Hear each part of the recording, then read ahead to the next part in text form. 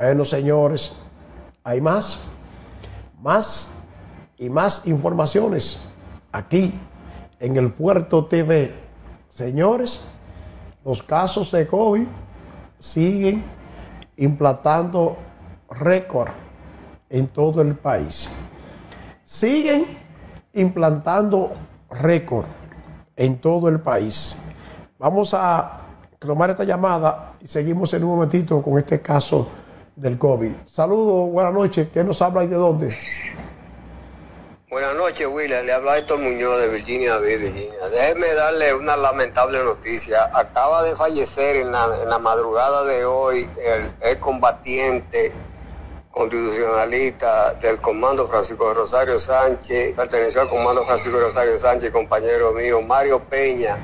Eh, y voy a hacerle un llamado a la Fundación Camaño y a la Fundación de Militares Constitucionalistas que vayan un auxilio de los familiares, ya que él vivía en unas condiciones muy deplorables y no, te, no tenía, no gozaba de una pensión como combatiente ni seguro médico.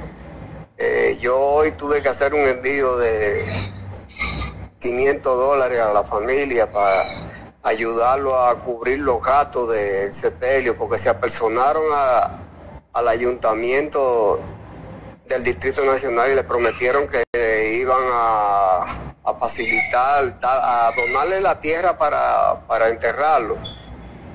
Y vamos a esperar a ver si eh, la, eh, la síndica del distrito, Carolina Mejía, va que colaboren por completo con esa familia, porque realmente una persona ser un, yo digo, caramba, esa lucha, ese sacrificio que tuvimos nosotros para restablecer en República Dominicana la vuelta a la constitución, los hombres y mujeres que, militares que participamos en esa gesta heroica y que hoy, en el siglo XXI, todavía hay, hay, hay más de más de 250 héroes de la guerra de abril que están viviendo en indigencia, no tienen seguro médico. Oiga, son condiciones deplorables. Yo de mi pensión que recibo mensualmente, humanitariamente, yo le envío a la Fundación Solaridad con los héroes ignorados, FUSA, que su presidente es el licenciado Tilso Medrano, y yo me despojo de 300 dólares mensual para yo enviarlo a la fundación para que el licenciado Tilso Medrano eh, reparta eh, la cantidad de dinero y le entregue mil pesos rotativos a los que no tienen pensión, que lo hacemos todos los meses, eso. Y todavía nosotros no hemos sido contemplados en, el presupuesto, llenando todos los requisitos de una fundación que tenemos siete años haciendo ese trabajo.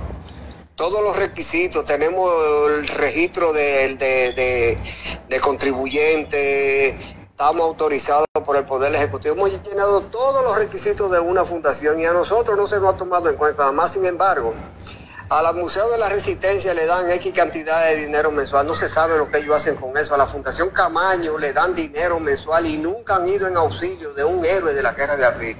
Entonces, yo digo, pero venga acá, ese esfuerzo y ese sacrificio que nosotros hicimos para restablecer el orden constitucional en República Dominicana, que después de la guerra de abril de 65, en República Dominicana más nunca se ha vuelto a dar un golpe de Estado a un gobierno legalmente constituido, sea en elecciones ganadas, sean amañadas, que hayan, hayan hecho fraude whatever, pero se ha respetado el, ejercicio de las funciones del presidente que fue en ese momento y a nosotros se nos ha como basura en el desierto.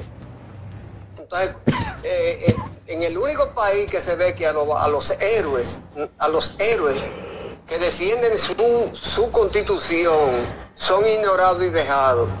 Yo a mí, me, a, mí a mí en estos días me salió una pensión que yo no sé por dónde salió, que quién la, quién quién la produjo, pero me pensionaron a mí. Entonces yo no, yo no acepto esa pensión porque fue a mí solo, donde hay un listado de 70 combatientes de la guerra de abril el 65 depositado en la consultoría jurídica del Poder Ejecutivo. Y estamos esperando que la sensibilidad del excelentísimo señor presidente de la República, que están pensionando, ya después que él ha sido presidente, han pensionado ya alrededor más de unos 6 o 7 mil envejecientes.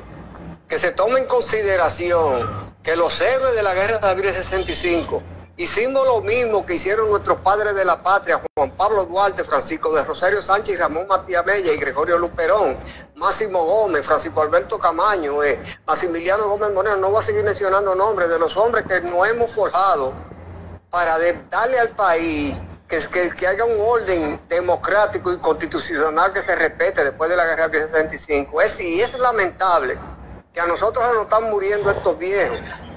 ¿eh? En indigencia. Ese señor, eh, le digo, estaban vivos porque la generosidad de los delegados internacionales, que les voy a pedir disculpas que me haya entendido. Eh, está William Méndez Núñez, está el licenciado Pedro Joaquín Aguilar, está William, William, William, William Aquino, está eh, Jorge Tapia, Manuel Grullón y Argentina Macario, que hemos sido lo que hemos, con nuestro pequeño aporte que enviamos a República Dominicana para darle sustento a esos, a envejecientes. Y yo quisiera, yo le voy a mandar el teléfono de la Fundación del licenciado Tilso Medrano para que usted le haga una entrevista virtual, que es el presidente de nuestra fundación. Y, y, doy fe y testimonio de que ese señor es tan serio que yo anteriormente tenía 30 años buscando una persona que uno tuviera la confianza en República Dominicana para uno hacerle llegar esos recursos para que llegaran al destino que tenían que llegar. Y, ese, y él lo ha hecho con mucha pulcritud y seriedad. Excelentísimo señor presidente de la República. ¿eh? y pensión de fondo y jubilaciones. Eh, yo le pido que los, que los héroes que participamos en esas heroicas seamos tomados en consideración ya que a todos los militares que participaron, tanto de la parte de Wessing y algunos, algunos, militares algunos militares que participaron en la zona constitucionalista han sido pensionados. Entonces, bueno. si, nosotros, si nosotros los civiles ¿eh? y asimilado de la Fuerza Armada, pues yo fui asimilado de la Marina Guerrera con el rango de capitán. Asimilado, yo no era militar activo. Y vimos, pusimos nuestra vida para hacer prevalecer la constitución de la República Dominicana, que esos héroes hoy en día, a 57 años de esa gesta heroica, no hayan sido tomando en, no hayan sido tomado en cuenta. Me disculpa, William, que me he entendido, pero tenía que expresar. Él se llamaba Mario Peña, que quiera hacer una colaboración, que se acerque a la calle Abreu, número 50, calle era donde residía, que viven en un cuarto con cinco hijos. Bueno, bueno con cinco hijos en un cuarto y tuvieron que dividirlo con una sábana para... Y, ya Mucha, usted sabe. Muchas gracias. Muchas gracias, Héctor. Iba a hacer otro comentario extenso, pero no voy a tomar más tiempo con relación a las otras cosas. Mañana yo les daré más detalles. Pasen buenas noches. Buenas noches. Muchas gracias. Bueno, lamentamos la muerte de Mario Peña. La gente, mira, sí, pero hay algo interesante, eh, eh, Héctor Muñoz, y es que el presidente Abinader ha estado atendiendo reclamos de pensiones. Ha sido un presidente que en ese aspecto está funcionando. En ese aspecto de la solidaridad, de las pensiones que tiene que otorgar, está funcionando. Entonces, decía que hay un nuevo récord, un nuevo récord de coronavirus en un día en República Dominicana. Hoy las autoridades reportaron dos muertes y 6.200 nuevos casos de COVID. Aquí en República Dominicana, el Ministerio de Salud comunicó la muerte de dos personas y 6.000 200 nuevos casos de coronavirus en el boletín epidemiológico número 660. En las últimas 24 horas se procesaron 26.763 muestras, arrojando 26.753 casos para una positividad de 38.14% y de 20.62% en las últimas cuatro semanas. De estas pruebas, 19.687 son PCR y 7.066 antigénicas. A la fecha acumulan 451.185 contagios en República Dominicana por la pandemia y 4.255 fallecimientos. Los casos de COVID activos siguen en aumento y según el boletín hay en la actualidad 31.482 casos activos, o sea, 31.482 personas que andan contagiando a otro. En la actualidad hay 590 pacientes hospitalizados, ocupando el 26% de las 2.661 camas destinadas a COVID-19. En las unidades de cuidados intensivos hay 130 pacientes que ocupan el 22% de todas las camas COVID en UCI, mientras que 105 afectados tienen ventiladores, lo que equivale al 22% de los ventiladores disponibles. Señores, eso que está pasando es una alarma, porque eso está pasando en los hospitales públicos, pero las clínicas están repletas de gente. ¿Por qué? Porque aparte de los casos de coronavirus, también hay muchísimos casos de influenza. Y las clínicas están reventando de pacientes, pero el ministro de Salud dice que todo está bajo control. Miren lo que dice él. La parte de hospitalización se sigue manejando muy bien, es un 26%, nosotros publicamos, nosotros publicamos constantemente y verificamos qué es lo que ha aumentado. El número de la consulta.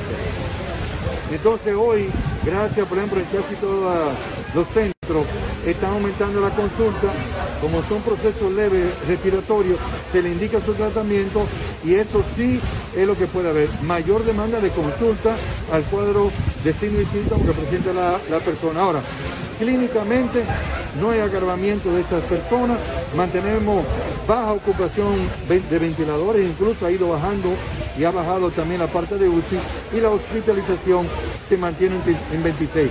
Que sin embargo ustedes han visto que aunque tenemos una positividad elevada, mayor número de casos, observen que la letalidad está una de las más bajas, no del mundo, no, de toda la vida en la República Dominicana, que llegó a comenzar en 6 la letalidad, hoy la tenemos en 0.94 en el día de hoy. Ministro, dice, dice... Bueno, ese optimismo que tienen las autoridades es lo que preocupa a uno. Porque es que yo estoy viendo demasiado gente con problemas. Hay demasiada gente. Parecería que el gobierno dominicano ha decidido dejar que el COVID le dé a todo el mundo. ¿Sí? Que le dé a todo el mundo para ya salir de eso. Eso es lo que parece. Sigo con este tema después de esta breve pausa. No se mueva.